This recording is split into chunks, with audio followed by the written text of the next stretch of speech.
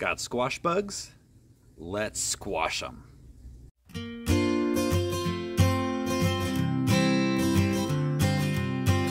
Hey, I'm Brian with Next Level Gardening. If you're looking to join an online garden community that offers tips, tricks, and support to help you take your garden to the next level, you're in the right place. Get started now by clicking subscribe and hit the bell so you never miss anything. Now let's get growing. So to understand how to manage squash bugs, we need to talk about their life cycle. Fortunately, there's only one generation per year. Adult squash bugs overwinter in garden debris, and in the spring, they emerge, lay their eggs on the bottom of leaves, and then those hatch out into little nymphs, which are really fast. They're kind of black and gray, and they'll grow into adulthood by late summer. Squash bug damage looks, it starts out looking like little specks uh, on the leaves that turn yellow and then die. And eventually they can turn the entire piece of the vine into a crispy black or brown mess. The best case scenario is that it will slow production. The worst case scenario, especially on smaller plants, is it will kill the entire plant. Now you can find squash bugs on other plants besides just squash. They are going to be on cucumbers, melons, and zucchini. As always, I'm going to start with prevention because really with squash bugs, prevention is key. Once they become adults, for sure, it's much harder to deal with them. However, stick around because after prevention, I'm going to give you video proof of a solution that will kill squash bugs in less than five minutes. So the first thing we can do is knowing that they overwinter in garden debris, let's just leave them less debris. Less debris is less shelter. So clean up the garden in fall, remove all plant pieces, all leaves, anything dead and laying around, get them into the compost bin. Now you want to mulch your beds in the fall, but you don't want to use debris type of mulches like straw or newspaper or wood shavings, things that the squash bugs are going to just bury right into. Instead, mulch with compost. Another thing you can do is grow your squash vertically like I do. If you get the plants off of the ground where the squash bugs like to hang out, it's to hold them off a little. Not a lot, but it is something. And there's a lot of other way other reasons that growing squash vertically works. And I've done a couple of videos on that. I'll link them down below. Crop rotation definitely helps because of the overwintering.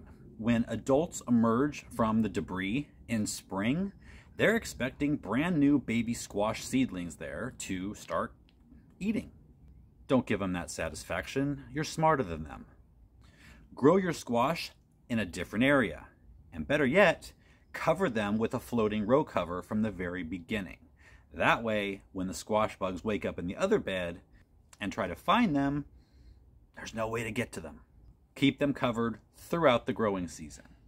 There's a couple of great companion planting strategies when it comes to squash bug control. The first bug that you want to attract to your garden because, let's face it, they love squash bugs as a crispy snack, are praying mantises.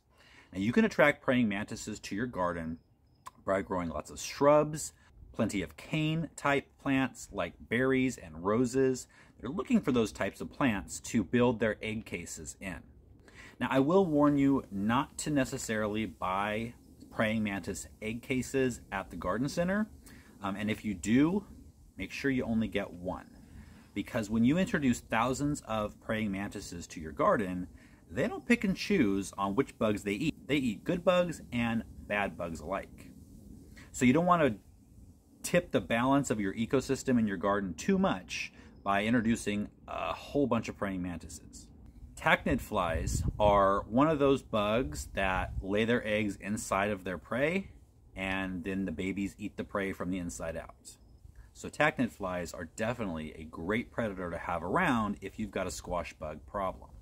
So some great plants to bring into your garden to help attract the tachinid fly would be cilantro, dill, daisies, and chamomile. Because let's face it, after a bunch of bug gut eating, you want to just relax with a nice cup of hot tea. All right, so what if you already have them and prevention is no longer what you're looking for. First of all, you can hand pick the bugs and nymphs off of the plant. They're pretty easy to see. If that grosses you out or there's just too many to, to do that with, I did come across a YouTube video from 2011 from Your Victory Garden, I believe was the, the channel name. I'll put a link below. He gave three different solutions. Two I've tried in the past on other bugs and it worked very well. The third one I'm including because he gave a visual demonstration that you gotta see. So the first two, if you watched my earwig video, um, I talked about putting a piece of wood or cardboard on the ground. During the night, the earwigs would get underneath of it to shelter, and in the morning, you could pick it up and get rid of them. Squash bugs work the same way. The second thing you can do is take a vacuum and just vacuum the bugs right off your plants. Now this next method was new to me.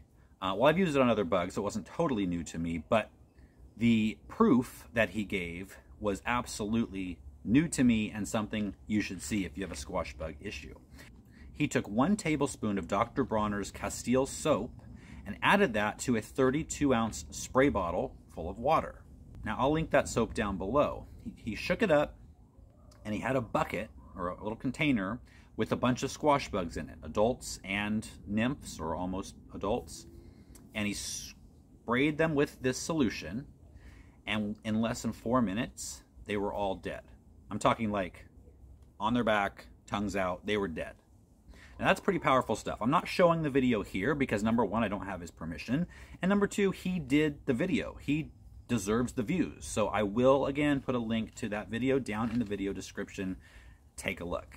So I hope this helps. If you learned anything, please give the video a thumbs up. It really helps push this video out to a wider audience. If you haven't subscribed already, consider subscribing, and I will see you tomorrow when we will be talking about another demon of the squash world, and that is the squash vine borer. See you then.